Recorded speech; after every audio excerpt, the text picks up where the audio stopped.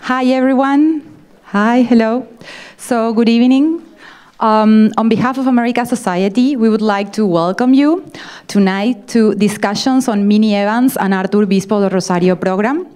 Uh, we will present the following two panel discussions, the drawings of Minnie Evans, a chess game with Bispo de Rosario. We are pleased to collaborate on this program with Outsider Art Fair, opening in New York City this Thursday. There will be also a reception after the second panel.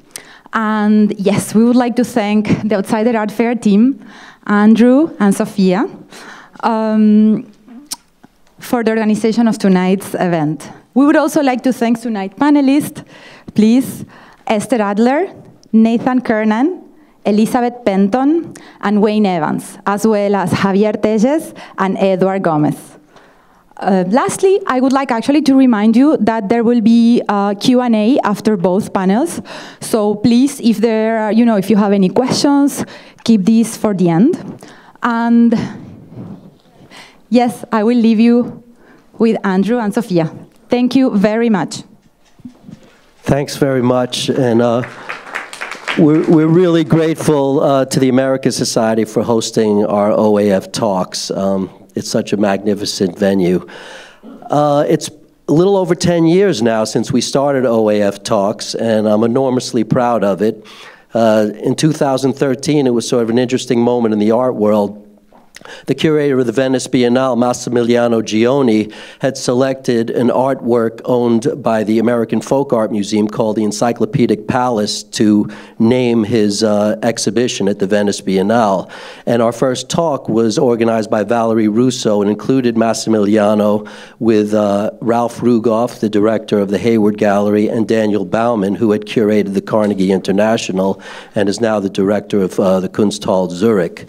And it was a moment where many outsider artists were selected for the Venice Biennale, and there was more and more conversation about their integration into the art world conversation and how influential they are. And now, 10 years later, I think it's safe to say that uh, the power and the influence of self-taught artists is uh, being felt more and more. Um, we've had tremendous panelists, including we've had a Nobel Prize winner at our talks. We've had artists like Marilyn Minter and Lonnie Holley. We even had a 99-year-old hero of the French resistance, Daniel Cordier, at one of our talks.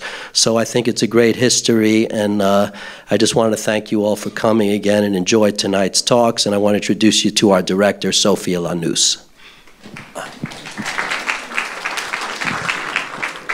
Hi.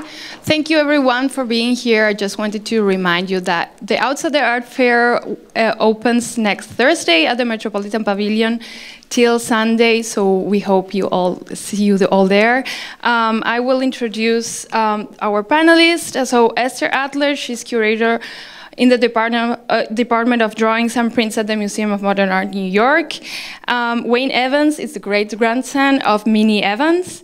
Uh, Nathan Kernan is a writer, and executor of the estate of his grandmother, Nina Howell Starr, um, the photographer who introduced Minnie's works to New York's audiences and curated her 1975 exhibition at the Whitney Museum.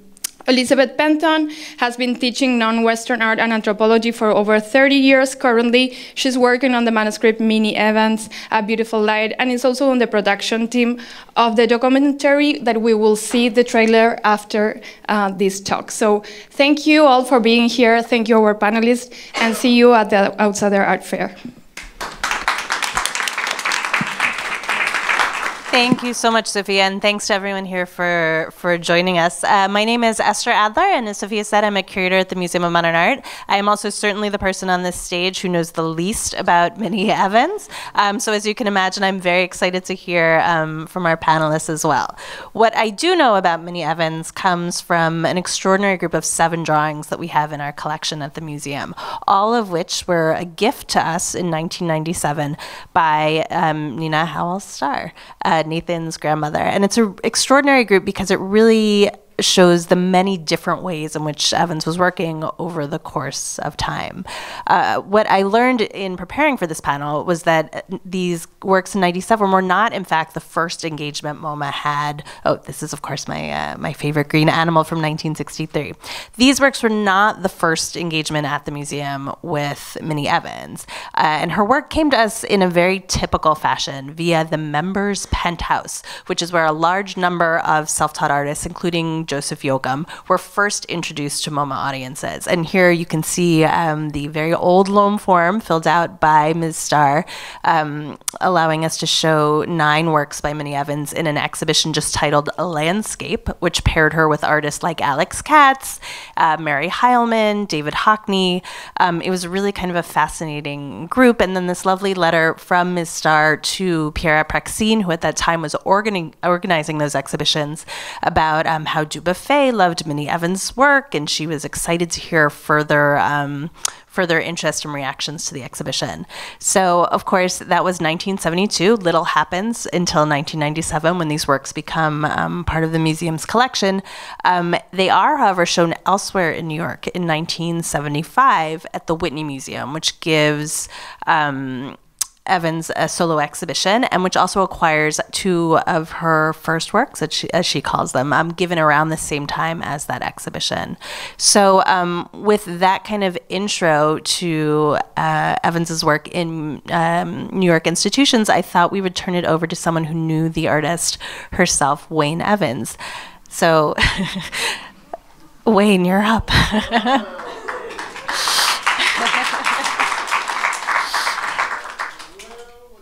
And when you're you're Minnie's great grandson. Great grandson. And how many? Can you do a little bit of family tree for us? How many kids did she have? She had, she had three children. Oh, sorry. You hear me now? Right. Okay. She had three children. Um, my uncle Elisha, my uncle David. My, she had three children. my uncle Elisha, who, who lived in New York, I think he passed away in New York, and my uncle Dave, who lived in Detroit, and then my grandfather, who was George Evans, who she I'm sorry. Can you hear me now? okay, all right, all right. I got you, I got you. Uh, hey, I'm used to teaching sixth grade, uh, sixth grade students, so I'm not well with the, with the adults, so I'm like, you get here. Um, um, my grandfather, who was, I guess he was in charge of all of her artwork, basically. Um, we, I lived with my grandmother growing up. Um, for some reason, I don't know why we lived there, but we, we often lived there um, from time to time. This was like, like the early. I'm gonna give a story about you, how I met Miss Starr, which was so which was so funny to me. But I think about it now, it wasn't it wasn't funny at the time. Um, I was I think I was in first grade. First grade, I just coming from school. I just, I just gotten off the school bus, my brother and I, and as we normally do, we typically do, we would run home, run, run the porch, and burst into the house and everything. And so this year, the year 69, 69 70, um, was the first year of integration.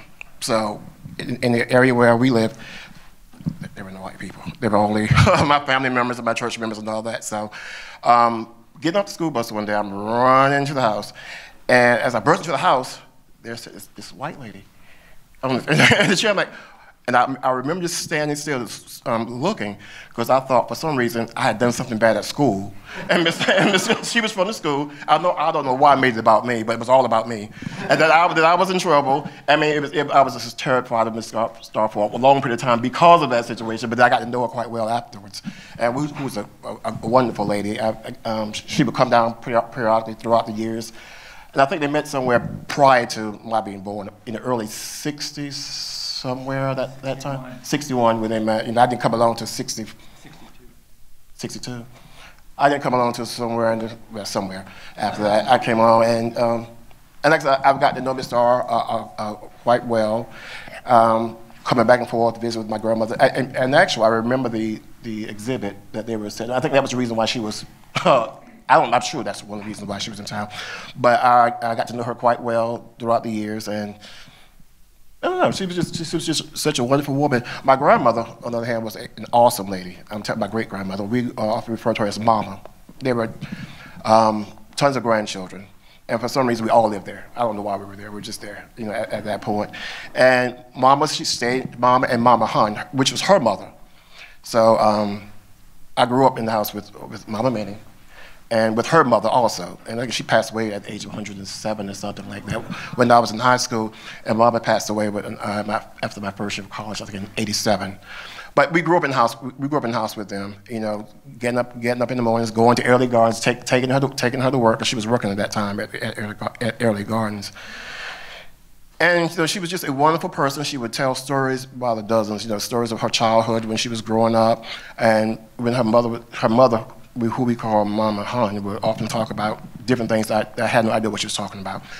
But it, it was just, it was just, it was a great. You, you, you had to have known her you really had to have known her. she was she was one of the sweetest people, one of the sweetest people you ever would meet. She loved people. She, I don't know. It's hard. It's hard to ex explain. You, you, it's like a. I don't know. I'm getting nervous now, but no, she was just a wonderful, wonderful individual that just, that just loved everyone. She taught us a lot about loving people, and and, and that was, that was just her main thing. Love love your fellow man. Love your love your neighbors, and that was just that was just her the name of the game with her. I think you see a lot of that in the work, definitely. Yeah, yeah. Was art a part of your life? Like, were you aware that she was making so much Actually, art that it was so important to her? I, she was. She always. Well, before I was born, she was an artist, but she was always drawing. Always drawing. It was like something she did, and there was nothing really, really. I wouldn't say at that time. At that time in my life, it was. It wasn't something that was really special. It was something that, that Mama did. You know, she was always drawing. When she was at, when she was at um, LA, she was drawing. When she was at home, she was, she was drawing. On weekends, she was drawing. She was just always, always, always, always drawing. So it, it wasn't spent. I, and I do remember, um, oftentimes when I would go to school, I would take some artworks and I, I just give it to my teachers because my grandma she was giving. I said, "Can I have to for my teachers. And I just gave, I just gave it all away. You know, I mean, tons, tons, tons of it away. Now I regret it now, but you know, what can you do? But yeah, she was just such a such a wonderful, wonderful individual, you know, who, who, who impacted my life a, a, great deal. And was there art in your house? Like, did she hang her art where she, you lived? She or? did not. Oddly enough, she did not. It was, it was, it was everywhere, mind you. It was just, you know, everywhere. But it, there was, there wasn't anything that was hung on the walls or, or anything along those lines. It was just, I don't know. It was just, it was just. She had a very, it was a very big house. It was like a. Um, a large version of a shotgun type house, if you know what I mean. You know, you walk in the living room, three uh, living room, dining room, kitchen, and three bedrooms on the side. Very big rooms, and I can still see the rooms in my mind, in my mind's eye, but there were no pictures ever hung in, in the house. Don't know why it wasn't, but there was no picture. But, but they were all hanging, they were all, all around, you know, on chairs and on, on, on easels. And, No, no. Liz, you want to turn on your mic yeah. and, and join us? Oh, no. I'd also love yeah. to hear. I know that you two have um, have a connection as well from Wilmington. Yeah, this is cool. It's cool, lady. Um, I think that um, Minnie had a a group of paintings and drawings that she carried with her for a long time, probably before you were born. Right, right, right. And I think she called it her angel book. Is that right, Wendy? Um, anyway, I was just wondering if you. I don't remember okay. the angel. Yeah, I mean, she would take them with her when she went okay. everywhere to the grocery, everywhere.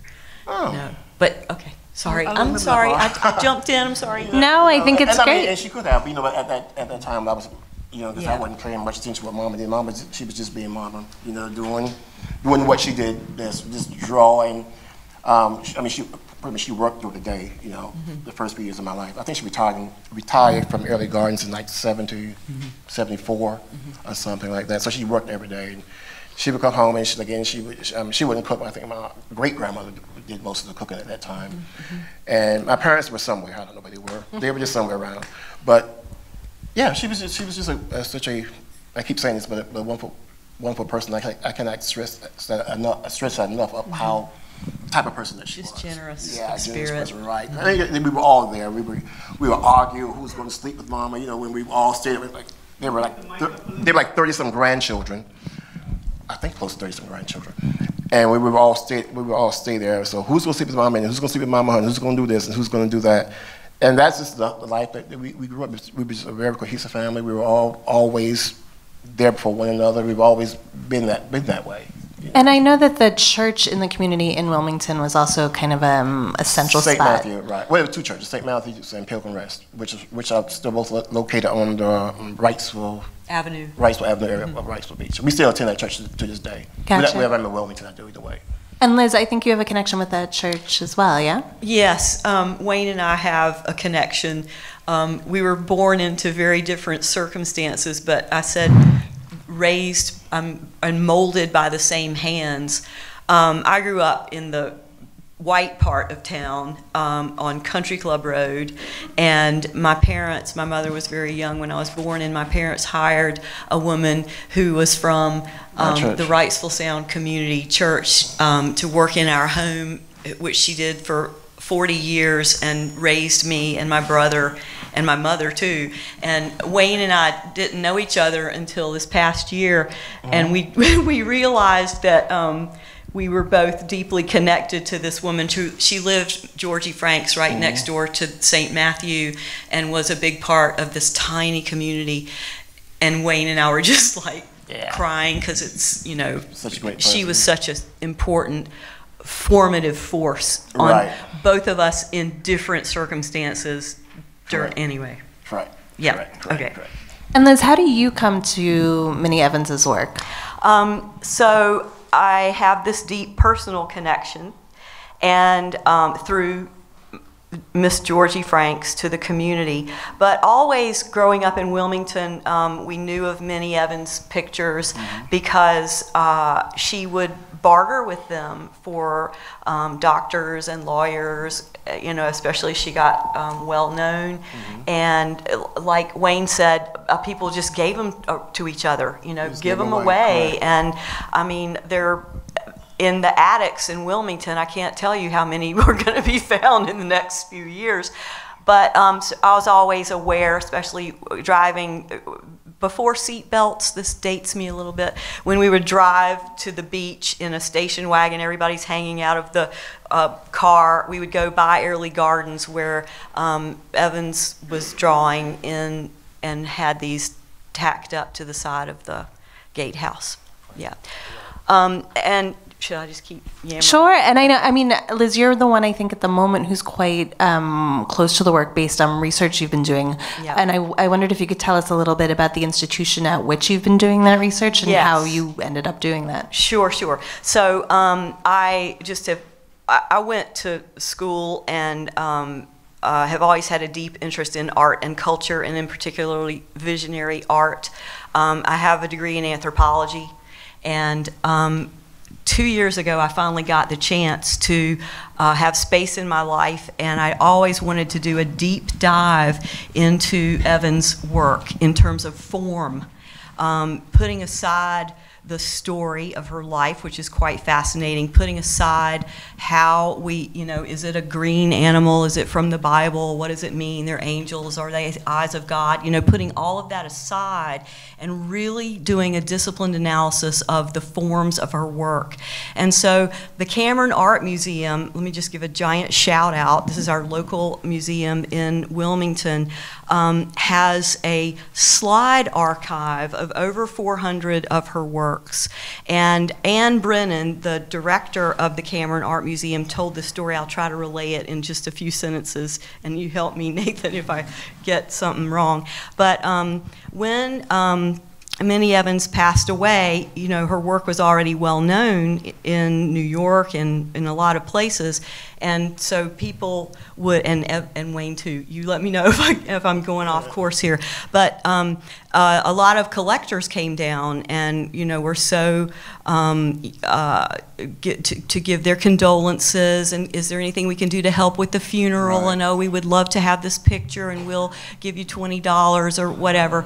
And That was Mhm. St. John's Art Gallery at the time, Yes, it was. It was Yeah, the Cameron Art Museum was previously. St. John's, yeah, right. and the director, his name was Ren Brown, Mm-hmm. and um, so. Um, George Mm-hmm. came to the director of the art museum and said, "These people are here and they're asking." And Ren, um, you know, very tactfully said, um, "George, if if if it's okay with you, we would love to um, to hold on to this these works. You know, get them out from under the mattresses and out Right. from everywhere they are, and um, let us hold on to them. And in the meantime, he took one piece to um, um, a prominent family in Wilmington who later uh, built the Cameron Art Museum, and in just kind of this one fell swoop, um, the the value of Evan's work just skyrocketed because everybody knew the value and didn't want these to just go, you know, for nothing right. out from the under the family. And so, um, at, so the St. John's Art Gallery housed the works and took slides of them. And I mean, a few of the pieces have come to you now. Um, and uh, so this is, we think, the largest collection in one place of so many of her works. And so it was that um, in uh, about a year and a half or two years ago, uh, they gave me, I was about to throw away my slide projector because I was clearing stuff out. And it's like, who needs this old fashioned machine, you know?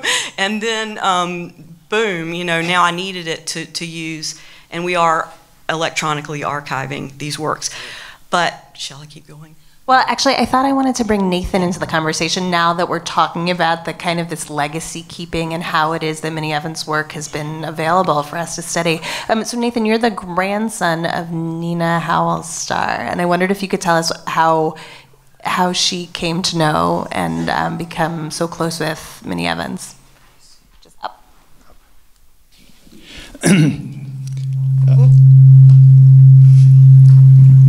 is that me?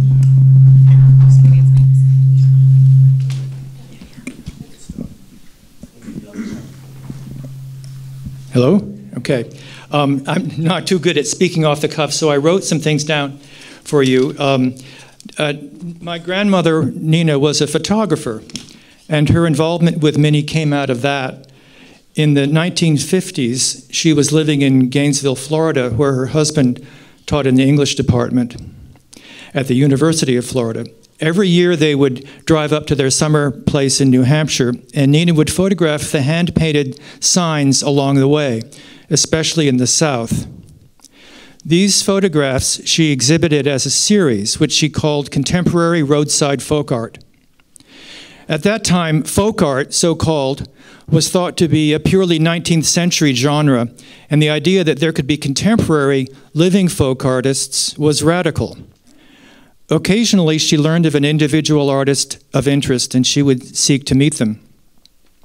In 1961, at the age of 58, she entered the graduate program at the university to get her MFA. Her teacher and thesis advisor was Jerry Uelsmann, who became a close friend. This was his first year teaching at the university, and Nina, his first graduate student, was older than his own mother.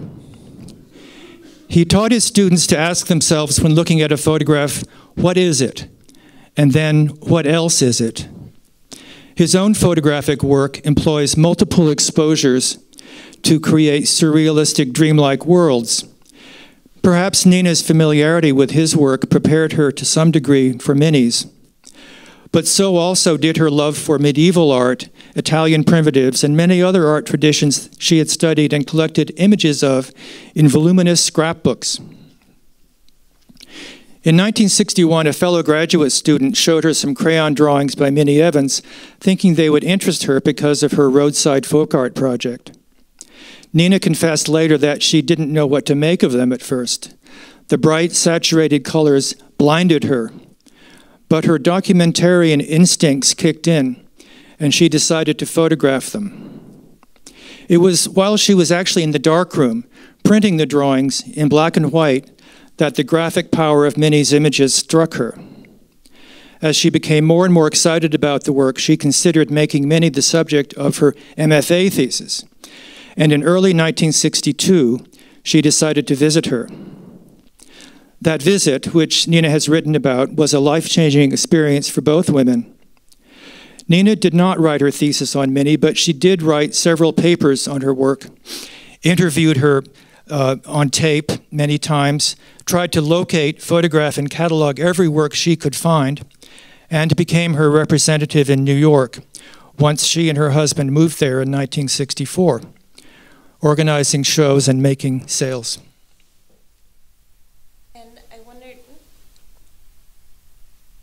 And so, in many ways, she became, as you just said, the representative for um, Minnie Evans in the world that we're kind of currently now in the New York art scene um, in terms of showing her work.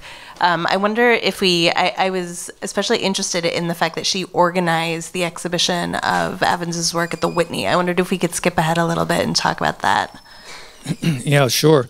I wasn't, unfortunately, I wasn't here in, in 75 for that show, so I, I never saw it. And she didn't talk to me much about it. Um, I think she was disappointed, maybe that it didn't get more attention. And it's still not on the Whitney's own website, by the way. uh, apparently, I heard later that there were some black artists and curators who, res who resented that the Whitney was showing an elderly primitive from the South rather than a trained or more mainstream black artist. Um, I didn't know about this then, and she didn't discuss it with me that I can remember.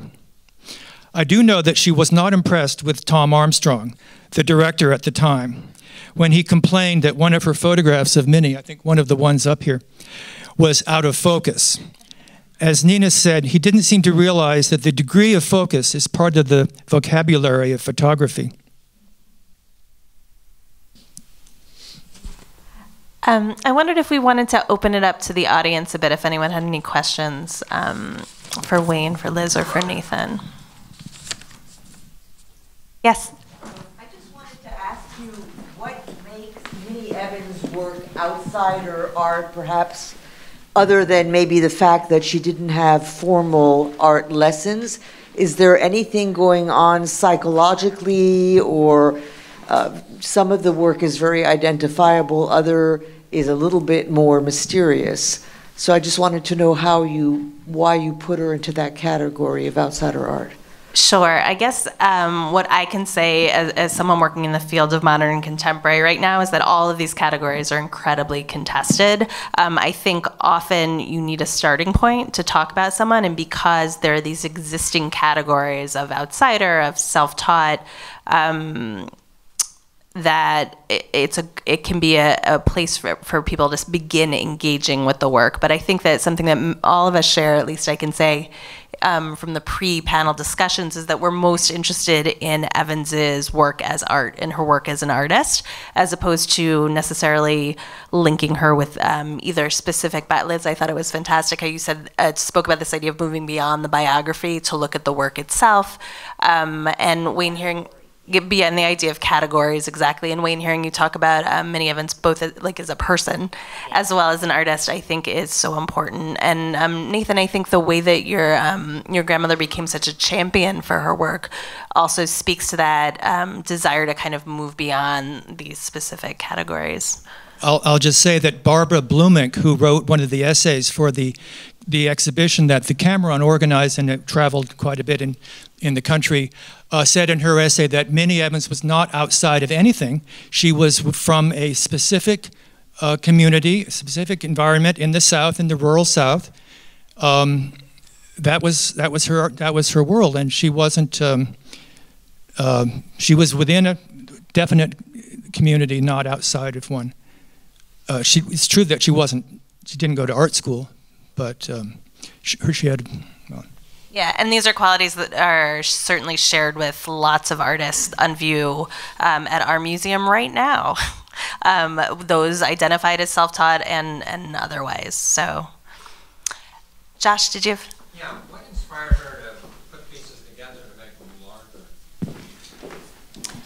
I know the answer to that. Okay. When when when um, Nina, when Minnie came to New York and visited Nina, and she took her to the Museum of Modern Art, and she took her to the Metropolitan Museum of Art in a wheelchair. And she was, because she was elderly, I don't know when it was exactly, but she um, was greatly inspired by seeing the paintings in these museums. And when she, when she left, she said, "I'm going to dream tonight."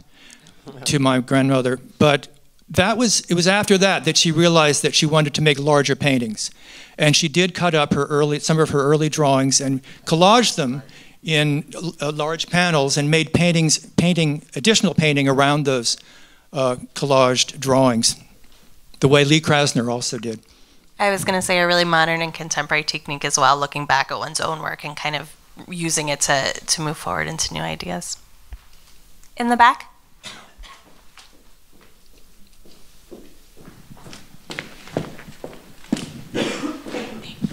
Uh, what, first, what was her inspiration for the type of art that she did?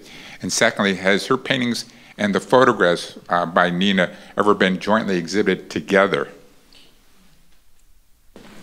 Liz, do you want to take the first part of that question? Um, the question was, what was her inspiration? Yeah. To, to get well, to the point of her, what I call a, sort of a unique style of, Yeah. of, of art, you Okay. know, uh, what are these representational Sure, sure. mean dreams? So, um, yeah, many, um, uh, and there's there are mm, 300 pages of transcripts of conversation between Nina and Minnie um, archived in the Smithsonian that we have access to her words and explanations. And apparently, um, from childhood, she uh, had visions, saw things, um, and had even kind of optical disturbances that. Um, uh, you know, this hasn't really been discussed very much, but um, in my opinion, I have a hypothesis that she experienced aura um, and that she, you know, a lot of people experience aura, and none of them are geniuses like Minnie Evans in terms of what she did. And so I can speak a little bit to, you know, and you're referencing. Um, kind of her what I call her mature period where everything is really sort of tight and symmetrical and beautifully wrought. And in fact, with this part, wait, just let's stay with this one. So, um, you know, she had she did many types of um, had different types of styles, but. Um, for example, in this one, you can see that we have a kind of flatness, even though we have elements from different, you know, we got rainbows and starry night all together, and sunrise and a, a lawn.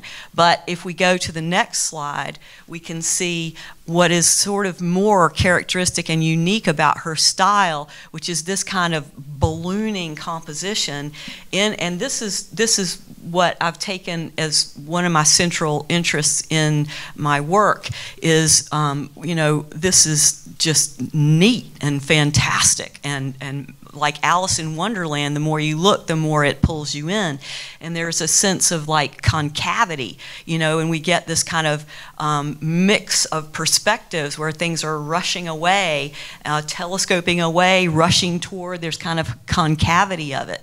And I think it's absolute brilliance. And so her um, mastery of what in my opinion, early on were, you know, optical disturbances and a breakup of the field of vision with her secret weapon of bilateral symmetry. She comes to, you know, this just gorgeous, coherent, awe-inspiring uh, compositions that are quite complicated. So I don't, I didn't answer your question, but Wayne, um, could I ask you a little bit about this idea, this sense of visions and dreams? It seemed like something that you were actually quite aware of, and I wondered if, if that was something that was common she in would your often family. talk. She would, she would often talk about dreams and and um, waking up in strange places and different places where where, where she initially did not fall asleep, you know, and and just I, I, I, the vision, the vision, the visionary. uh, She, she always considers, ugh, sorry about that. Considers herself a visionary artist. So everything she she drew is something that she saw in dreams. The way she explained it to us. It was all saw in dreams, and she, whenever she would dream, she would she would do it. And she would erase it. I've seen her erase the entire board and start over again. She said, "This is not right. This is not right." And one thing I did find very odd is in, in, in watching her paint or draw. She, she always she always can you hear it now? Okay. I'm sorry about that. She always whispered to herself when she was doing it. It was, it was, it was sort of like a whispering sound as she was drawing the, the entire time, um, sort of a breathless type whisper when she drew it. And, like, and I do remember, um, like again, cases where she would start drawing and she would get half of the half of the um, the, the canvas covered. You know, she used pencil at first to go ahead and start drawing, and then she would erase it out and say, "Not right, not right." I just remember that, and she would start again. But she but she whispered the entire time to herself while she was doing it. So that's Kind of a fascinating I part do of the process. I'm not sure the significance of that or why that happened, but it, that- I do remember recall her, Yeah. her doing that a lot growing up. And again, it was just mom. It's something that she just did. you know, something Yeah. she did, something nothing. That was Absolutely. that was very that was. It wasn't something that was um, that struck us as being sort of odd or weird. It was just what was. Right. Right. I think we probably have time for one more question if there is one. Oh, or, or yeah, I also, I'm sorry, I think we, I have already forgotten what the second, you clearly remember. The answer is yes.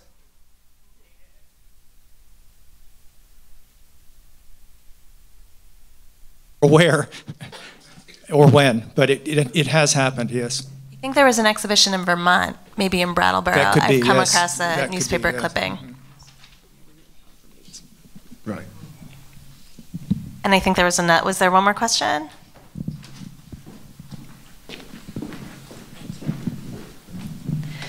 My question, I guess, is specifically for Mr. Evans. Um, it seems like you have su- you had such a personal relationship, and how has it kind of been to see this like attention um, come to this work that you just saw just around your house and had the experience of seeing someone make it, like the process of drafting and then taking it away and redrafting? Like, what has the experience been to be sitting here now, I guess, after just being in, in your house?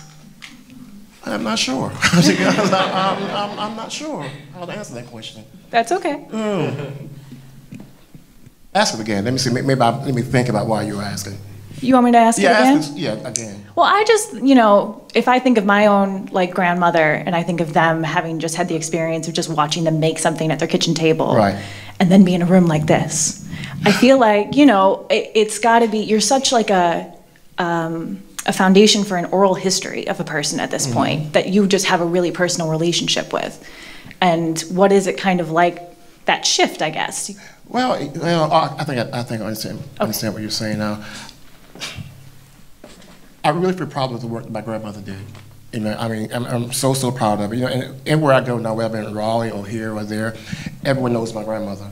Where initially, you know, I guess a few people knew her, and as as time goes on, she becomes more and more famous. Even in Wilmington, whenever you're around Wilmington, even one of the one of the schools in Wilmington was named after named after her, and, and there's different different parts of Wilmington um, where she, where she lived. You know, there's guess a marker there that it tells you about it. So everyone knows who my grandmother is now. You know, and it does feel it does feel great whenever you say, "Well, um, my name is Wayne Evans." Um, Minnie Evans' grandson. You, Minnie Evans' grandson. I mean, as far as, as far as from Wilmington, as, as far away as Raleigh, you know, I work part time for Hilton Hotels, and guests will come from. Um, we have art conferences, conventions at, the- at the hotels, and I would tell that Minnie's my grandmother. And it's like everyone comes to the front desk uh, as if though I'm the artist, but I'm not the artist, you know, and, and ask me all sorts of questions about her. But I, I really feel um, I'm really, I'm really proud of the work that she's done, and I think everyone in my family is, you know. Um, again, coming from being a child where it was just like an everyday thing, something you say, hey, that's what grandmothers do, what some grandmothers do anyway. Uh, until now, you know, I'm excited about being here. I'm a little nervous right now, as you all can tell, you know. But um, yeah, I'm, I'm really excited about it. I'm, I'm, I'm happy. I, I feel, I feel proud to be associated with everyone up here on the, on the panel, and just, yeah, this is a great feeling. If that answers your question. It absolutely does. Thank you. And I think actually this is a great moment um, to talk a little bit about what's in the works for a Minnie Evans Scholarship at the moment. Um, Liz, I think there's a, well, in addition to your writing, which we'd love to hear a little bit about, I know that there is a film in the works. Yes, um, my good friend Linda Royal um, is in production of a documentary film, a new updated documentary film. Um, uh, and there's already been some shooting. We're getting ready to see a five minute um, uh, example of, of the footage. And um, yeah, Linda, do you want to say a couple of words? Yeah, it's, yeah, yeah. Yes, thank you, Liz. Um, yeah, we are currently in production on a documentary film, a feature about Minnie Evans. Um, we started last year. Um, we are about a third of the way there on shooting and fundraising for the film. Um, and I would love to be able to have an opportunity to tell you more about it um, at the reception afterwards. So I'm very honored and grateful to be able to have um, our little five minute preview of what we have accomplished so far in the piece. So thank you. And we're really excited to see it as well. So I think without further ado, Uh, well, I'm very, very happy uh, for many reasons to be back in Americas Society. I, uh, after the exhibition opened, I had to, to leave to Europe uh, for, for a month, basically, so I'm, I'm back to see the show again. And uh, I'm happy to, to be with the family of Americas Society. Very happy also to collaborate again with the Outsider Art Fair. Thank you, Sophia. Thank you, Andrew. very happy to have Edward Madrid Gomez with us. I came from Madrid to Madrid. What else could you ask? you know, game of chess. Why, why is that a game of chess? I don't know. I have a dream where I was playing chess with Bispo, but that's another story.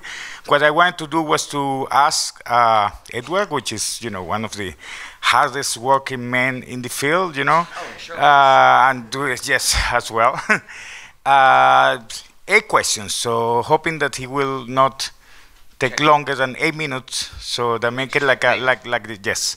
to make it like a like a chess game or, or, maybe the I Ching, which is 64 ah, squares as well. Okay. Yes.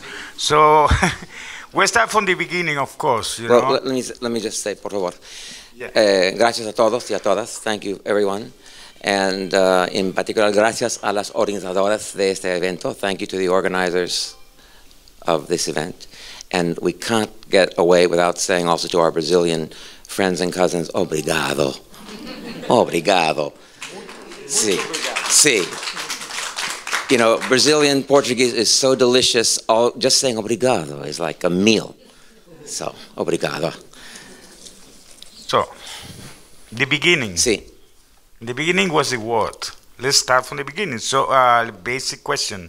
Outside the art, art brut, self-taught art, visionary art, I put you at the margins, art, art self-taught, visionary, out of the, go on and on and, you know, all these yes, discussions right. as well uh, right. around terms and definitions, you know, that resemble like theological fights of the Middle Age and the Renaissance, early Renaissance. Uh, could you, what, what, would you, how would you explain to uninformed viewer, also as well as informed ones mm -hmm. here, what do you understand by brut? I've done it. A year ago, in my magazine, Brut Journal, I wrote and published an article which is basically a primer on exactly this topic. What is art brut, outsider art? What is the relationship between these two terms and the history leading up to them? And the more recent term, self-art, self-taught art. And so I invite you to look for it. It's, in, it's uh, a free access article, which means that no one, you don't have to be a subscriber to access it. Just type in thebrutjournal.com website, go to the January 2022 page and you'll find it. We're also going to publish it in March's issue, republish it on the occasion of the Outsider Art Fair because I think it serves as a good teaching tool. Um, I did have some slides prepared for you that would uh, reinforce the remarks I'm going to make tonight, but unfortunately for technical reasons we can't show them. That's all right. So to answer your question, I'm going to give you the history of art brut and outsider art in four minutes or less. All right. Very briefly, the phenomenon of art brut has its roots in psychiatric uh, treatment of mentally ill people in Europe going back to the late 1800s. Uh, fast forward into the early 20th century. Freud, Freud's understanding of uh, the psyche of course, that led to the emergence of the very 20th century discipline of psychiatry. And as you know, psychiatrists are medical doctors. They have medical degrees and are able to prescribe medicine. All right. In the time of Freud, and right up until very recent decades, there were not pharmaceuticals, drugs, that were capable of handling many mm, mental illnesses in the way that drugs are now able to handle them, such as, for example, schizophrenia. That's the most obvious drug uh, illness that can be treated now pharmaceutical, pharmaceutically. All right. Having said all that, in the 1940s, the French modern artist Jean Dubuffet, along with some of his pals like André Breton, the head of the Surrealists, and various writers and painters and poets, there always has to be a poet in this gang, uh, in the late 40s in Paris were sharing their ideas about the kinds of unusual art forms they were encountering in their research and their travels. Dubuffet, in particular, explored certain countries of Western Europe Switzerland, France, Germany, uh, Belgium to some degree, and started collecting art by people who were self-taught. They had not gone to art school. They were often living on the margins of society, mainstream society, either by choice or by the force of circumstances in their lives, poverty or whatever it might have been. And he began collecting these artworks. He is the one in 1945 who came up with the term art brut, in French, raw art, literally raw art. There is a long-standing joke among art brut historians, which is this. It's kind of in the margins. But Jean Dubuffet was born and brought up in Le Havre, you know, the port city on the Atlantic coast of France. His family was in the wine wholesaling business. You've heard of Champagne Brut, right? Uh, it is quite possible that he's having a big joke on all of us by naming, by coming up with this term art brut, because there's a reference in there to the champagne, to the winemaking that, with which his family was commercially involved. But in any case, brut means raw, right? So why raw? Because he chose the word because it, it, it refers to the unfiltered, unfettered, raw creative power or creative energy that resides somewhere in the human psyche. Now, of course, today, neurosurgeons, neuroscientists are very busy trying to plot exactly where in the brain creativity resides and how creativity is expressed with, from an understanding of biochemistry. That didn't exist in the time of Dubuffet in the 40s. So, fast forward. Dubuffet uh, began collecting this work that he called art. Among the people who were making it were people in psychiatric hospitals, but not exclusively, and people in prisons, people living in small villages that, as I said, were on the margins of the societies uh, uh, in which they lived, the local eccentric, for example. And uh, by the time in the mid, in the early 70s, he had amassed about 5,000 works of art of this kind. And he was looking for a home for this material. And he, uh, he, he said quite, quite pointedly that he did not want it to reside in France. He didn't think the French could understand it. So he had friends in Switzerland. And he thought, well, you know, Switzerland, very conservative, buttoned up place, but they did create Dada in Zurich. So he reached out to his friends, including. I mean, but, some, but, but was also Switzerland was uh, very instrumental also in the in the construction of brut, no? By yes, the encounter with Wölfli. Yes, I'm going to. Yes, I'm, I'm, I'm, I'm, I'm, I'm about to tell you that. Um, so he reached out to his friends in uh, Switzerland. Yes, uh, we'll get back to Wölfli in a moment, and made an offer of his collection that he, for which he was looking for a home. And it just so happened that the city of Lausanne in the early 70s had an empty 18th century chateau up on the hill, which made a perfect home for this collection. And the, the museum, the Collection de l'Art Brut, was born. It opened its doors to the public in 1976. And the 5,000, roughly 5,000 works of Dubuffet's personal collection became the core of this new museum's holdings. Today, there are roughly 70,000 pieces. So remarkable quantity of work for small, a relatively small museum. It's the first museum of its kind in the world. It's certainly the leading museum of its kind in the world. It acts as the custodian of the legacy of art brut, but it's, an, it's, a, it's not one of those museums that is a, a, a keeper of a stagnant kind of art. I have to say, whoever hasn't been to the Musée de l'Art Brut in Lausanne should take a plane tomorrow now, and go. Right now. now. And I'm wearing my badge It's a here. fantastic See, uh, institution. I am very proud to be uh, a member of the four-person uh, advisory council of the museum.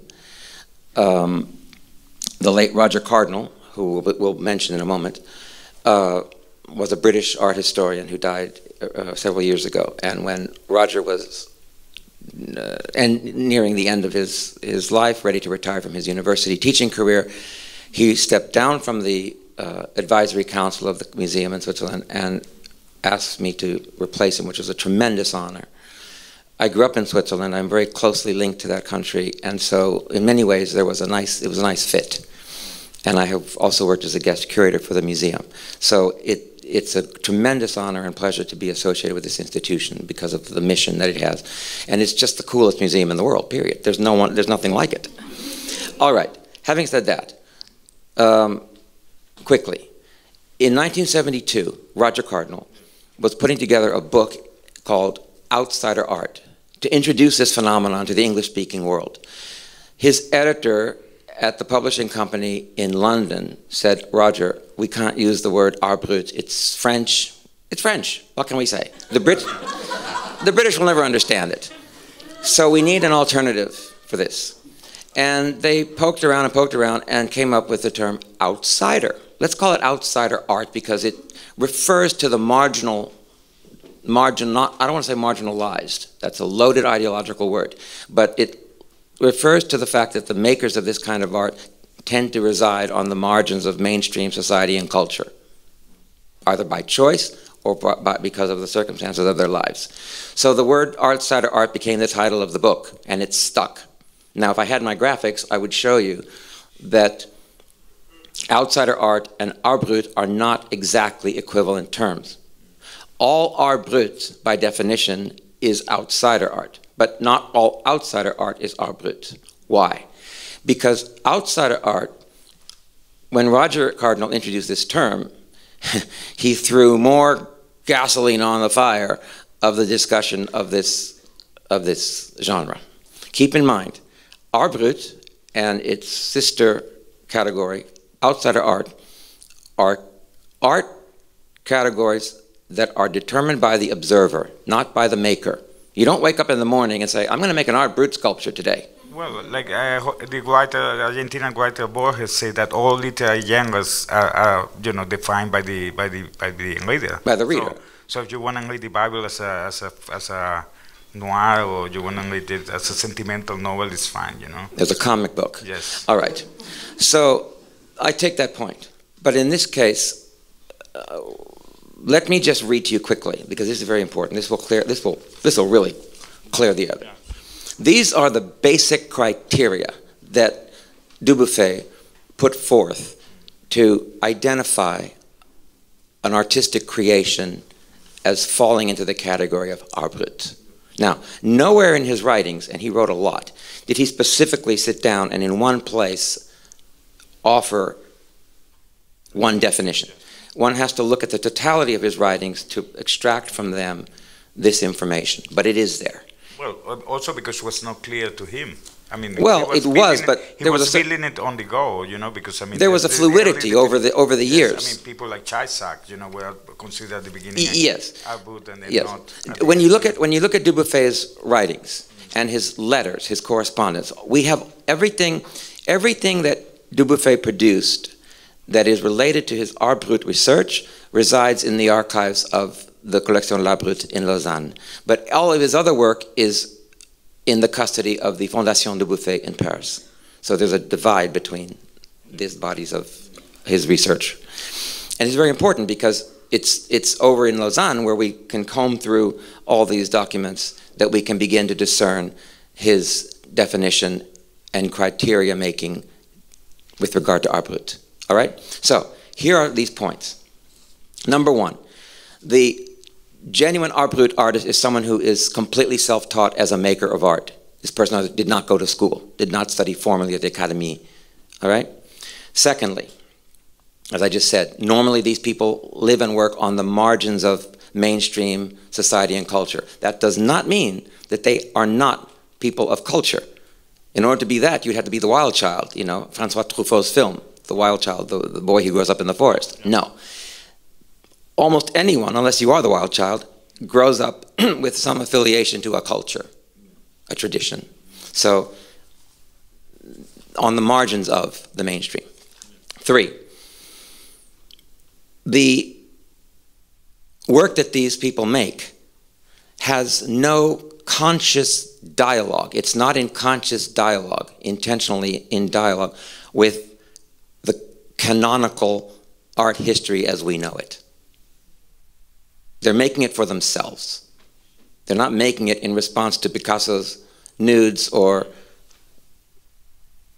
Matisse's cutouts. They're waking up in the morning and making this because they're compelled to make whatever they make. All right.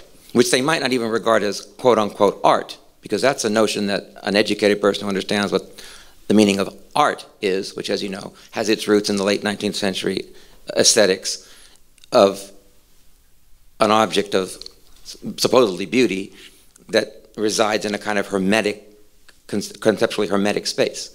All right, the fourth point. As a result of this art that they make not being in conscious dialogue with canonical art history, each work is a unique piece and almost a genre in its own right. Each Wölfli drawing, each body of work of an art brut artist, Aloïse Corbaz, Alois, uh, Adolf Wölfli, a Minnie Evans, each body of work is unique unto itself. All right. Fifth point, there is a visionary character to the work made by these people.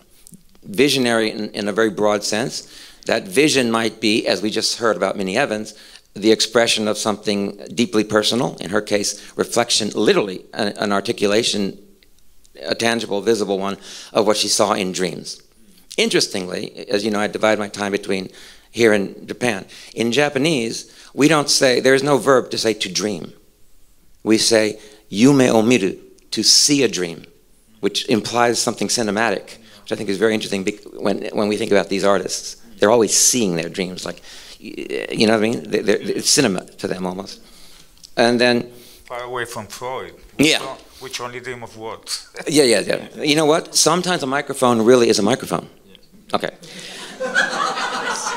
so the visionary the visionary quality of these artists, sometimes that vision has to do with their religious beliefs, sometimes with their notions of history, sometimes with a deep personal philosophy, sometimes with a, a, a vision of nature or humankind's relation to nature, etc., etc. Or with Minnie we saw hers were uh, related to her dreams, and there was a lot of nature reference in there. Powers of nature, you could see that. All right, number uh, the sixth point, or fifth or sixth point. This is an observation from me, not so much a defining criterion articulated by Dubuffet, but it, it, it, it, it bubbles up to the surface in his thinking, and that is that often these artists make discoveries about how to use their materials and how to express themselves technically that are unique to themselves. Bispo is a very good example downstairs. So, you know, for example, he might be using embroidery, but it's how he's using the embroidery that makes it so deeply personal and unique to him. All right. And there's another point that I would add. This is a very much um, an Edward ob observation that I'm tacking on to Dubuffet's criteria.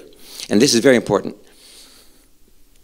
And this is not to belittle our friends like yourself who have gone to art schools and have degrees in the making of art and the history of art and make art uh, informed by all of your knowledge of what art is and has been.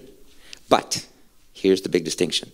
When these artists that we think of as outsider artists, art brut artists, self-taught artists in the broadest sense, keep in mind that self-taught is such a broad term that it includes folk art, folk art makers. But folk art makers are not art artists because folk art is rooted in traditions. Well, neither outsider, no? Well, say that again? Neither no, outsider art technically is not folk art. All right, but here's the observation. These artists wake up and they're making what they make, not because they want to, but because they have to. It is as essential to them as breathing. And so that's the big distinction. Well, um, many times they're associated a kind of like uh, a, a mandate outside themselves, you know, in the case yeah. of Bispo do Rosario, but many yeah. other people. So Bispo is a very good example. you know, with the with the, sí. with the, with the aliens sí. and you know, so on, sí, sí. on and on and on. Yeah. It's always after kind of like epiphany with a, some kind of like a right force beyond themselves that they start Yes. So that sense of being compelled with great urgency to have to make this, this their work is, in my opinion, I think it comes through in the work, in the spirit of the work. I think it is, is, is can be felt. This is not the case with a Jeff Koons sculpture or a Damien Hirst dot painting. Those guys wake up in the morning, they have literally staffs of hundreds of people who just churn it out. It's product for an art market. It's valid as product. I'm not, I'm not dismissing it as, as invalid as a, as a form of artistic expression. It doesn't interest me at all. Okay. And then the last point, the last point, the last point I want to make is that, and this is a very important point. This is again an Edward observation, but it's something that needs to be reinforced over and over again. Art brut and outsider art is not the art of the mentally ill. It is not a, uh, a job requirement that you be mentally ill or affected by mental illness in order to be qualified, uh, classified as an art brut One classic, one classic example is uh, Antonin Artaud, you know, Mhm. who of course was, you know, Mhm. visited by Dubuffet, Mhm. but you know, Mhm. he, he kind of exclude him Mhm. from the from yeah. the from the yeah. So, so I just want to, I just want to say that, It's not and enough to qualify. yeah. So I just want to say that is basically the, th- that is the list of def- defining criteria that we that we need to go forward in this discussion. So- Adelante. Yes. So adelante is now that you came up with all the this. Why were you actually inclined to that? What was your path? The path that led to to Lausanne. Oh. the Musée d'Art Why were you inclined? That's a good question. critic to the All right. to the Art Well, curiously, um, I grew up in Switzerland, in the capital, Bern, which is in the German speaking region, and my parents were American diplomats. My mother was from Mexico City. She became a naturalized gringa. And uh, so we were, they were based in the American embassy in Bern. Small city, very quiet. And I'm old enough. Of, where Wölfli works. What's that? Was Adolf Wölfli. Yes, and Adolf Wölfli was born in a village in the Berner Oberland region, and then uh, grew up closer to the city. And um, the psychiatric hospital in which he spent the latter half of his life was is located in the outskirts of Bern. Today, the archive that holds all of almost all of Wölfli's artistic production is in the Kunstmuseum Bern, and it's a and there's a if you should ever visit Bern, and this beautiful museum has a really good.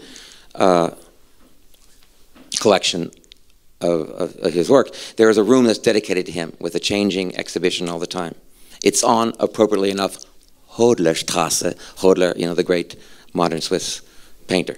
So, um, and for many years, for many decades, the Paul Klee Foundation was housed in the Kunstmuseum too. But more than 15 years ago, it moved up to a building up on the hill overlooking the city in a beautiful Renzo Piano building that looks like a giant wave. And uh, so that's because Klee was Klee lived in Bern for many years. So Bern is a quiet city, but influenced by Art as well. Yeah, very much so. I mean, by- But I, I, I, I grew up I grew up in Bern, and I, I think I was exposed. I think I saw Wölfli for the first time when I was a young teenager there, and uh, I noticed on your notes you mentioned the late. So was to Wölfli that you actually were interested in Art Was it first? I, I think I was introduced to art by Wölfli. well, but not to seeing it in Bern. I only saw it when I was a teenager, but I saw it in the library of my father, the Dubuffet In books? Cahiers, no, the, the Oh, okay. Morgenthaler, the Morgenthaler Okay. book, you know. Yes, I had in I had slides of all this in the in the presentation you're not going to see. But it's good. You just describe the slides and we imagine it. So, so, so when I was a, a, a youngster in Bern and I learned about this kind of art, I poked around and, and learned more about it. It was a few years after my family left Switzerland that the museum opened in Lausanne. So isn't it interesting that all these years later I should be so closely associated with that place? I was recently reading um, uh, the notes of, um, oh, of, um of an artist I'm writing about for my magazine, and a, a woman, an older woman. And in her remarks, she says uh, something about not believing that things just happen in the world, but things happen with a sense of purpose and destiny. That's very interesting. That I should eventually be back in Switzerland the way I am. us about your magazine, the journal. Brut I mean, Journal? You've been an editor, of course, of Yes. you know, Well, vision and so on. okay. But what, what, what was the All right. to actually create your own Okay. journal? Yeah. Well, in the summer of 19, uh, 19 in uh, 2021, during the pandemic, along with a, a team, an international team of collaborators, uh, artists, photographers, uh, arts journalists, and some and, and some artist correspondents, such as uh, Kathy Ward in London, who's a brilliant painter and uh, very well connected. She knows everyone. You couldn't be better as an editor. That's the kind of reporter you want. She knows everyone. And uh, I decided to, to, after many years at Raw, at Raw Vision, to create a new magazine because I wanted to do something that hasn't, hasn't been done in this field. and that is to look at the work of self-taught artists, art brut artists, outsider artists, in a broader art historical and deeper critical context. And so, in a very cheeky way, our masthead says, uh, Brut Journal, Art Brut, Outsider Art, the unclassifiable, and the avant avant garde. Adelante. Adelante. Okay, so what we're doing is talking about these. Sí, sí. Okay, so avanti. So, obrigado. So, so we we want to look at all of these things, all these topics in, in dialogue with each other because this is normally not done. It's done all the time when you're looking at modern art, contemporary art, but it's not, it's not done in this field. Instead, traditionally, the emphasis when looking at the work of a, an art brut or outsider artist is always on biography, biography, biography.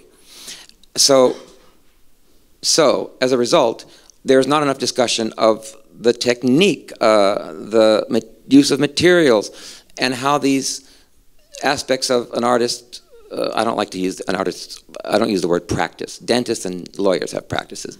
Artists make things. Um, so how what artists make uh, relate to what other artists make and have made and have thought and have done. That discussion hasn't been happening, so we're, we're doing it. And it's very exciting because the readers are responding to this sensibility. It's very exciting. So for example, in an article I might be talking, or my, one of my other writers might be talking about um, a particular outsider artist painting, and if the and if the affinity is appropriate, we'll then discuss maybe someone in, in, in the Cubist from the Cubist period, or from the minimalist art, minimalist art period, or from the conceptual art period. We did a whole issue several months ago on conceptual art. Why? Because we were looking at how conceptual art's legacy is still being felt today it's still as radical in some ways as it was when it first came on the scene in the, in the 1960s. So that's why I'm doing the magazine. That's good. Uh, we will go back to this okay. topic again of the of the you know comparisons okay. between contemporary art and so on. But Hi. I, I want to talk about Bispo before okay. that. Uh, you know, of course, I mean, I, I mean, the encounter with Bispo's work for me in 1997 in the psychiatric hospital was one of the biggest epiphanies of my life. I mean, I, I basically can only compare it to the work of Harold Fleet Daguerre, Martin Ramirez, and Aloïse in terms of the kind of, you know, strength of the mm-hmm. work and the and the because because he had the capacity, he had the you know he had the time and he had the somehow he managed to have the means to to make this incredible body of work of near a thousand objects. So I want to see how do you how do you see how Bispo do Rosario's work fits into these definitions of art into the context of art? How do you how do you see it in relationship to, for instance, to other artists okay. and so on? So. Well, if we look, yeah, something that you you are publishing an article now on Bispo do Rosario in After All, which is yes. coming out yes. very soon in the yes. journal. There's a there's a British magazine, which is a kind of an academic journal, but not stuffy. And it's called After All. It's published by uh, Central St. Martin's School of Art, which is now a division of the University of London. And that magazine is coming out any minute, as we speak, could be issued. Uh, it's, I, I, love this magazine because they feature me in a cover. Okay. So, oh, that's good. so they asked me to, they asked me, they, they, they have a, um, an issue coming out, their next issue, and they've, they asked me to write an article about Bispo in this issue. And it was very interesting when the editor commissioned the article, he sent me um, an explanation, a, a so-called brief. I thought it was very CIA-like to receive a brief. I never received a brief for an article. But he said, this is what the overall theme of the issue will be. We're looking at uh, certain art forms, certain artists' works, from a neo-colonialist point of view, blah, blah, blah. Lots of postmodernist jargon talks about spaces, sites, strategies, contextualization, recontextualization. Don't get me started on doctrinaire postmodernist jargon, all right? I will destroy it. Uh, it's tiresome, it's tedious, it's ideologically heavy, it's loaded, and it's completely inappropriate to a discussion of art brut and outsider art. So, having said that, I said to him, I said to the editor, you know, respectfully, I said, I'm not going to go down that path with you. I'm not going to position Bispo as, you know, some poor black man in a, in a psychiatric hospital, victim of neo-colonial, colonial and neo-colonial and post-colonial uh, uh, circumstances. He was no one's victim. And once you start put, as Joan, the great painter Joan Mitchell once said, speaking about art critics, this is a direct quote. Look it up. Once you put the blah blah blah on it, you kill it. so, uh, so with Bispo, once you victimize him and say that he that, that his work must be looked at and examined and analyzed through the filter of postmodernist mumbo jumbo post-colonialist ideological discourse, you kill it. He was no one's victim. And to use a buzzword that is mana to the postmodernist agency, you also eliminate his agency. And the proof is in the film you're showing downstairs. The film demonstrates vividly the creative, the raw creative, un, un, unbridled creativity, creative energy of this man. He could not not create. And it's, it, just listen to him talk. So, to answer your question, why, how, how does his work, body of work, relate to Art Brut? It, as our British cousins say, ticks all the boxes. Every one of the criteria I just cited applies to his work, or vice versa. His work applies to these criteria. Every one. So it's classic no, Art no, but I was talking more in terms of what you your understanding of this like a formal structure, you know, that's like how you could actually compare his work. He, oh, to other- in others? to other oh, I see. yeah, other practices, Yeah. to other bodies of work. Yes. Um, well, I, okay, I have, I have actually some specific answers. Number one, here's a, here's a very good one, a very, very relevant and vivid one. In my opinion, Adolf Wölfli is one of the greatest of the great art brut, uh, definitive art brut makers. His work is so rich, so complex, that he is Bach, Miles Davis, James Joyce, all rolled into one, and more. I can think of more artists of complexity whose work, works are rich and complex. You know, we're, we need another 50 years to figure out Finnegans Wake, right? We need another 50 years to figure out the blue notes of Miles Davis's trumpet playing. We need, to the right, right.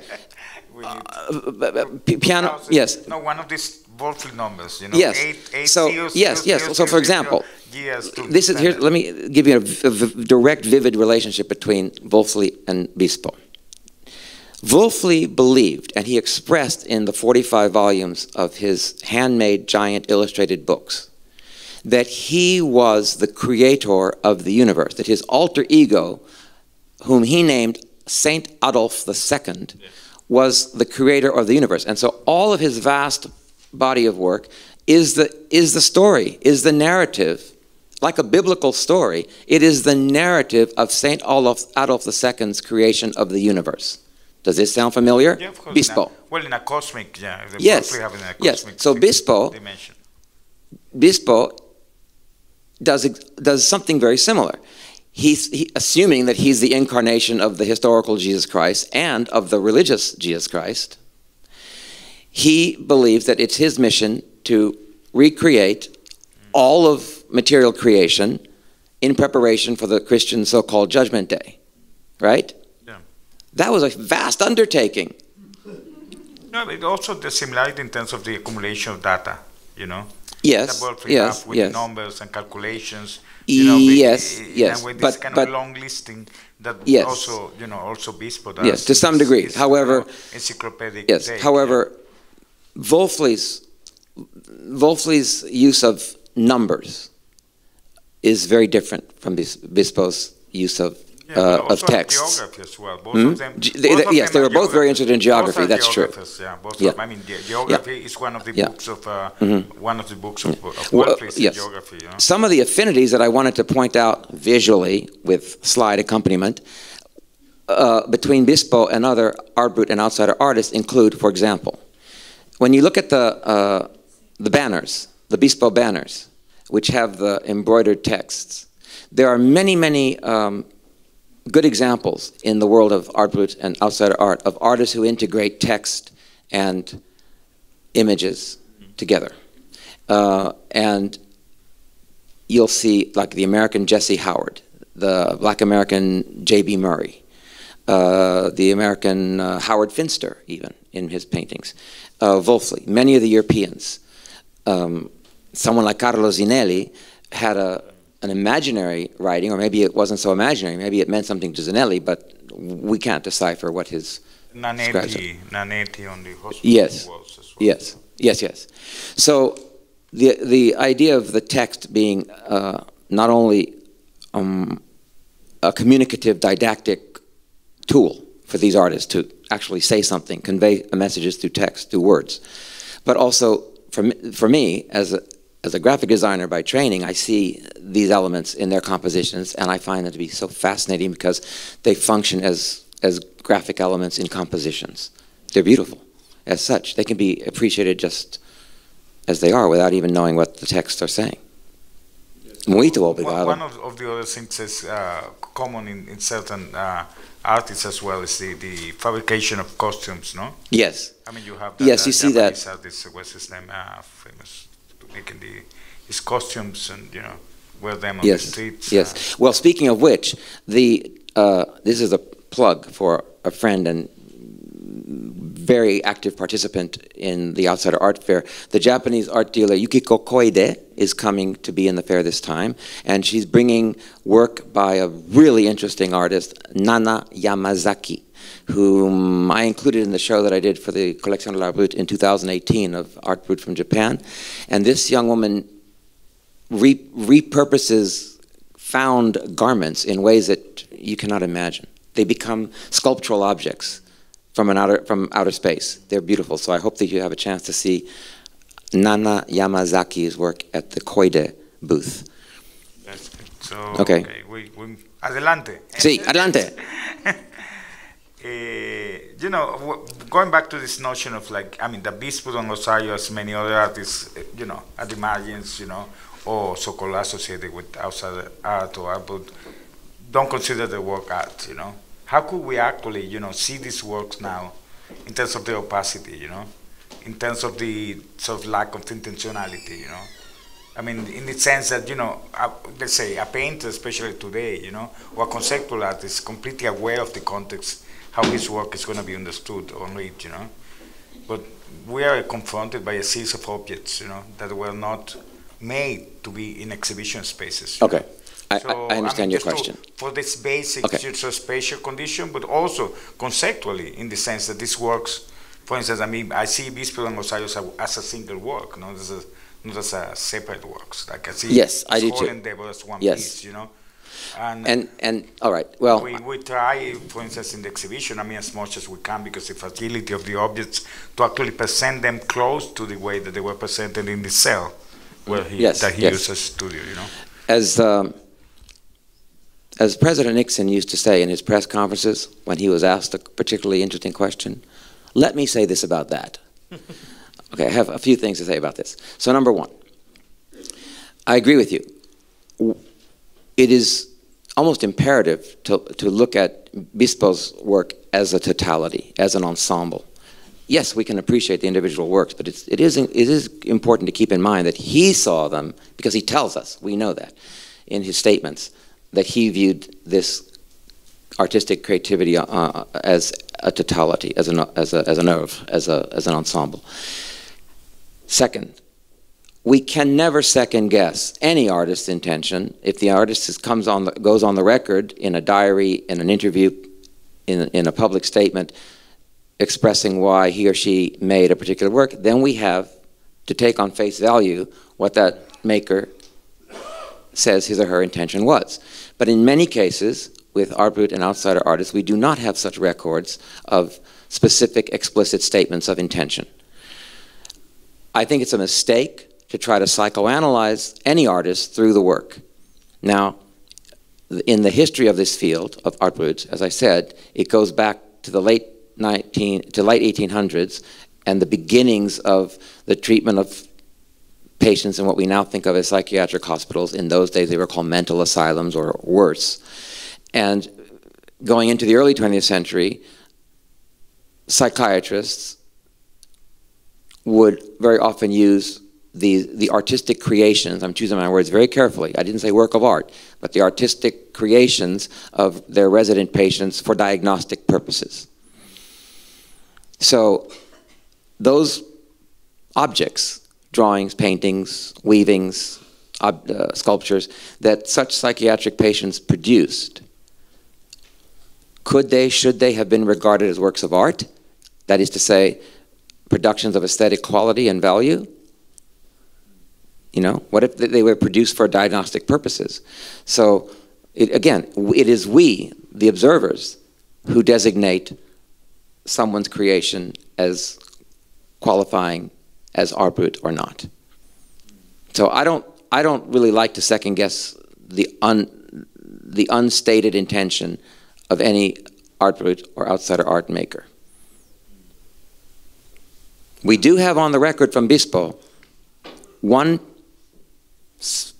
small statement that is actually a large statement when he says explicitly that the work he made was his version of a recreation of the material world of his God's creation that he believed he needed to produce in preparation for his religion's judgment day. So we have that. We have that. And as, as actually claiming that this was not art. Yeah. But at the same time, he did not have a problem of other people showing this as art. You know? That's right, and I do find it quite interesting. Yeah, that he allowed them to yes, I, in shown, so. in the film, it, you have to pay very close attention in the film downstairs in the exhibition. He is asked if he regards his productions as art, and he says no, which means or it implies that he had an understanding of what art meant. Very interesting, because many of the art brut makers about whom we have some reliable documentation did not regard what they were doing as art. If you come to think, you know, many, many of the pieces that we regard today as art were not conceived as art pieces, you know. Say that again? Many of the pieces that we regard, or cultural objects that we regard today as art. Oh, that's true. Were not that's really true. That's true. as, That's true. As, as, as art in terms Mhm. of the Yeah. sort of uh, Western notions Yes. of what art Yes. is, no? I mean, there are many affinities that, uh, again, I, I wish I could have shown you these photographs, but there are many affinities that I recognized as an art historian, as an art critic, looking, looking at Bispo. Let me just throw out a few ideas for you quickly. In the, uh, I, already, I already referred to the text elements in the banners and how we find text integrated into compositions of many other art brut artists, but we also find that sometimes in the work of modern and contemporary artists. All right. In the room that has the sculptural works hanging on the wall in which boots and hats and other things are He, they call it the vitrines, no? He yes the vitrines. exactly. the vitrine objects in which objects are repeated. Where do you see this? You see this throughout modern art. You know think of the french artist Arman. I brought a, i had a picture of his from 1992 his many many many typewriters. That guy never saw something he didn't want to duplicate But I mean, the intentions, that's where, where I go back, because I mean, morphological, you know, uh, similarities don't mean actually the same intentions, you know? No, no, no. But I, that's I not what I'm, that, I'm not. I'm not suggesting that. I'm suggesting, as an art historian and as a critic, that these affinities, formal, technical, are interesting. That's all I'm saying. They're interesting. For example, Yes. look, I had another. I had another picture from the Tate Modern. There, Tate, Tate in London has uh, owns uh, a, a Marilyn diptych from 1962, Warhol. It's a very, very large two-panel diptych with a grid of repeated Marilyns, Marilyn faces. Well, the repetition in Bispo, in, the, in his vitrine object works downstairs, there it is. It's all, it's all over modern and contemporary art. Repetition, grids, Sol-LeWitt drawings. It's, it's everywhere. So that's another interesting affinity. Well, but you, you could also say that, you know, if you actually are, are doing a catalog of everything existing in the planet, you're going to assemble a lot of artists' work. Did I hear someone say intersectionality? No, no, existing. I know, I'm joking. I, I just, a microphone sometimes. Everything, everything connects. No, I mean it disconnects because I mean if you had the Underwood, you know, It's getting very the zen. The bicycle wheel. The conversation I mean, taking the a turn toward the zen. The bicycle wheel of Bispo is obviously not related to the bicycle wheel of Duchamp, Yeah. except that they are both bicycle wheels. I mean, They're both by the wheel, microphone is a but, but uh, uh, an affinity is, is, is an, uh, it doesn't have to go beyond being an affinity, that's fine. Uh, but it, it goes back to this question. The, the question I have, you know, which is one, one of the main things, you know, Tell me. is the exhibitions from the past, you know, and Okay. the present that have paired modern and contemporary art side by side. Okay. With Albert, you know. yes, I mean, it can- list- I will some. start my, my list, of course, Go with ahead. Harold Szeemann, you know. Harold Szeemann, 1972, Documenta. Yes, the tendency towards the Gesamtkunstwerk in 1983 and Visionary Switzerland in 1991 in the Swiss Kunsthaus, both by Siemens, you know, which is kind of led, you know, pretty much the, the school of, of this curatorial practice of mixing outsider art, you know, or output with contemporary art, Okay, you know. so- I mean, you could also look at the roots of that in Entartete Kunst as well. which In is whom? Entartete Kunst.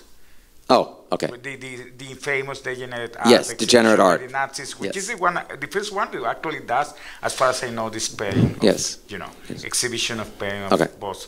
Uh, All right, so but, you know, parallel visions, for, for instance. 1992, se- yes. 1972, 19, Magiciens de la Terre, 89, up to the new, you know, the Encyclopedic Palace in the Venice Biennale by Massimiliano Gioni and, you know, Outliers in America, Avant-Garde Art uh, by Lynne Cooke Yes. in Okay. 2018. All So right. what, what is your take on All right, this? I, I, I, I'm glad you're asking me. I, I, obrigado. Yes. Muito obrigado. Because I had prepared something to say on exactly this point. Uh, the, the esteemed Andrew Edlin, who is here tonight, he's in the house, has heard me say this before, and I'm going to. He's still here. Yes, He's still yes, here. he's still here. I am going to say it again, and here it is. So you, uh, Javier, just mentioned five or six exhibitions of historical importance because in these exhibitions, dating back to 1972, the late Swiss curator Harald Szeemann, in 1972 at Documenta in West Germany, then West Germany, showed an exhibition of Otto Wölfli works for the first time in decades. Wölfli died in 1930, was basically forgotten. And it was thanks to Elke Spoyanli. it was yeah it was very it was thank, thanks to um, Harold Szeemann showing Wölfli in 1972 a documenta that suddenly the international art world discovered or rediscovered this this artist. Okay, anyway, these exhibitions all share a, a characteristic, which is that they put the work of self-taught art brut or outsider artists on display next to the work of trained modernists and contemporary artists. Now, that's fine. But there's also a problem with it. And it's a big one. And it's the implicit message that is conveyed primarily by the media covering these exhibitions, not so much by the makers of the exhibitions themselves, although they are sometimes at fault of the following transgression.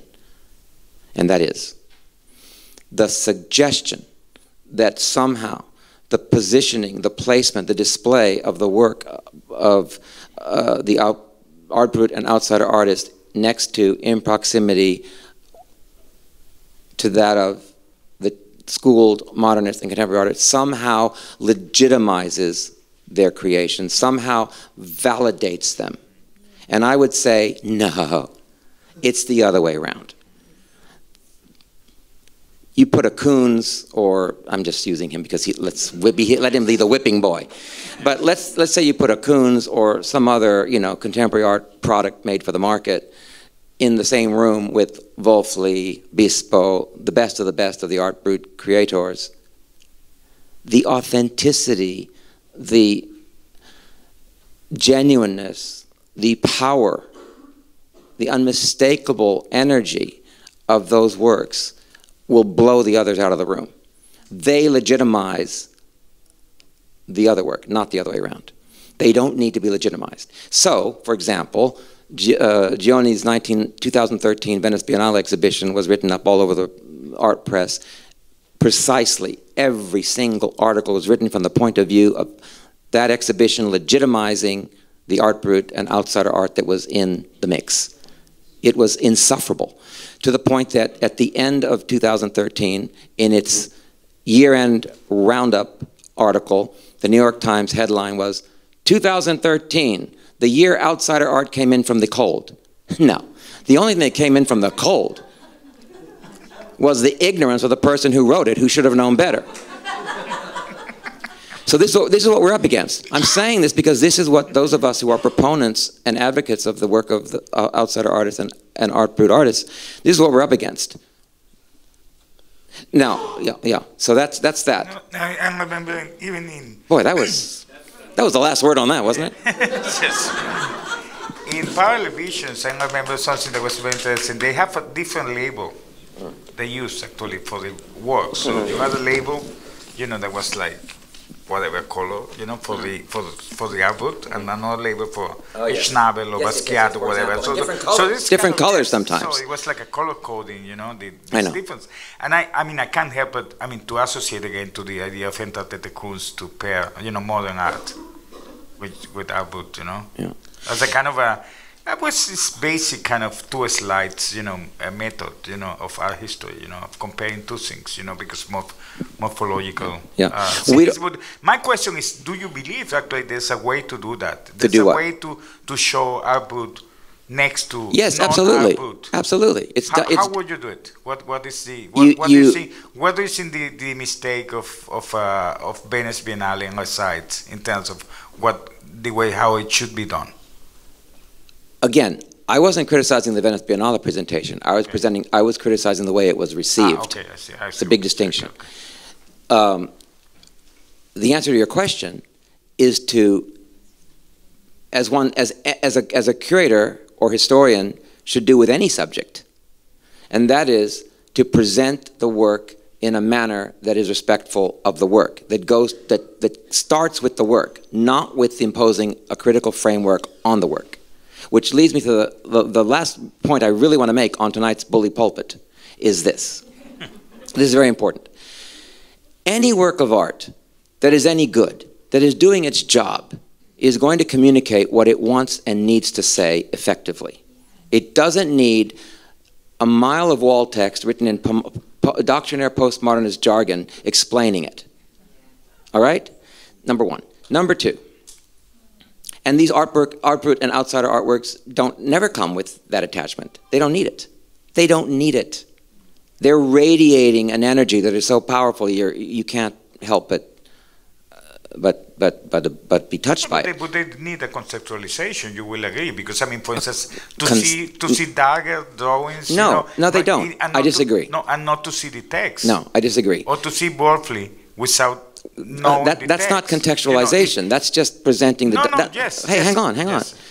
Contextualization means providing a context in which to view the object on display. It's not necessary. The work will speak for itself. The only thing you need to do, in the case of presenting Wölfli to a non-German speaking audience, is perhaps translate the texts that are visible so that an English-speaking audience can understand the texts. Well, or, And or, then- or the text from the from the whole book. I mean, not the whole book. You cannot put the whole book there. No, but I'm- But, but- you have to tell the story as you Oh, tell. yes, of course. Adolf and so on. Yes. Because otherwise you wouldn't. Yes, not yes, actually, but but I don't. you know, I, that's that is that's that's just basic didactic Yes, presentation yes, of information. Yes. yes. That's not imposing any critical framework on it. Whereas if you go on and, and impose a critical framework on it, you would put the work and say something like, you know, Otto Wölfli, uh, you know, um, prisoner of a psychiatric hospital, was speaking for all, you know, in, in, interned people uh, in, in making this work that expresses, you know, it's putting the blah, blah, blah on it. And I'm an art critic. I don't want to do that. I want to present scientifically. By the way, my colleagues in Europe much more often use the term use use use terms like scientifique to present information, you know, uh, des infos scientifiques, scientifiques about the work because it is scientific. If we're going to be good at what we do, we have to be somewhat detached from it. Or if you are going to present something imposing a critical framework on it, put your cards on the table and say, I'm coming from doctrinaire postmodernism or I'm coming from Marxist critical theory or I'm coming from feminist critical theory. Put your cards on the table. American, American creators don't do that very often. It's very disingenuous. So as a result, you walk through, you know, the Whitney Museum is a classic example, and the didactic texts are loaded with ideological uh, uh, terms. Go to the work, which, here's my bully pulpit. Allow me this. I'm, this is scripture now. All good work, as I said, if it's any good, will. Did someone just say preach? Okay. Uh, all good work of art, if it's any good, will communicate what it wants and needs to say effectively. However, there's something else. Any good work of art, inevitably, unstoppably, is going to reveal its own truth. That's what we should be looking for. That is what Bispo's work is all about. It is, it is an open heart of revealed truth. About what? About what it means to be human. About the unstoppable power of the human spirit and of the creative urge of the human spirit. That's Bispo. It's, it's, it's so big that it's creeping up through the floorboards. And our job, I think, as viewers of art or people who care about art, and certainly as historians and critics and curators who present art, should be to help the art reveal its truth. Let's look for it and let's help it reveal its truth because it's there. And furthermore, again, I, I, uh, I'm here to bludgeon postmodernist critical theory, not to bury it, because, because it did, in its heyday, open great doors of understanding. It did. But there are inherent limits and dangers in the application of what I call doctrinaire postmodernist critical theory. That's the kind that lets no air in the room except for the thinking posited by postmodernist, that po postmodernist critical thinking, which is always relative. There are no absolute values. Nothing is absolute to the postmodernist observer, right? Everything's relative. Your truth is relative to my truth, if, even though we're talking about the same thing. And we've seen how this dangerously becomes distorted by uh, you know, the neo-fascists in a country like this one, who have, not strategically, not consciously, but simply because the ideas are in the air, they're in the popular discourse, they're in the culture now for 40 plus years. So now we're in this moment of so-called post-truth. This is frightening. And it's all because of, it's, it's largely because of the ideas of the relativist ideas percolating up from postmodernist critical theory. I wrote uh, an essay that I'm very proud of about the painter Stephanie Brody Lederman, an American older painter. And in it, I explained that Stephanie Brody Lederman's work is there's no guile, there's no manipulation. It's pure emotional, psychological energy in her paintings. And there's a, there's a, there's a paragraph in there when I, and it says, you know, postmodernist critical theory, basically, I'll save you that $150,000 that you really didn't want to spend on a Yale MFA. Here comes. postmodernist critical theory basically asserts that the meaning of anything, a, a, a speech, a, a film, a story, a work of art, an event, etc., a political gesture, etc., the meaning of anything depends on the experience of the person perceiving that event, whatever it might be, and the interpretation of the event, or whatever the work might be, of the person bringing his or her cultural and other kinds of experience to that experience. And therefore, it's always going to be, it favors the observer. Post, to, be, to be fair, and, to, and it's good, postmodernist critical thinking favors the observer. However, if everything is relative, and if there's no absolute value, meaning no absolute truth about anything, then everything is always relative. And that leads to a dangerous cul-de-sac of nihilism and death. It was certainly non-relative for Bispo or Adolf Berkeley, no? Yeah. But I mean, talking about this era of post post truth, I mean, what, what do you think actually of this boom, which is like a recent boom of art brut and outsider How are we doing for time? Yeah? Oh, we'll leave. I'll just answer his last question. In terms of in terms Okay. of the, you Yeah. know, the And market we'll ask you- absorption. I mean, basically, to make into a question, what do you think of actually non-scholars or non, you know, non-specialists working with art you know? Well, that's Which he- is what he- is happening today. you He know? just asked me about so-called non-specialists working with art, Britain outside art. I don't. I can't really comment on that, but I can very quickly say to you, you he, he, Javier mentioned that there's what he perceives as a boom. I don't know if I would call it a boom, but it is true that certain very well-established galleries, shall we, and institutions, but I'm concerned more about the galleries right now, uh, are are getting their hands in contemporary art galleries, very well funded galleries are now beginning to show and sell this kind of work. I have nothing against that. It's fine. Again, if it's presented in a manner that is honest and fair to the work.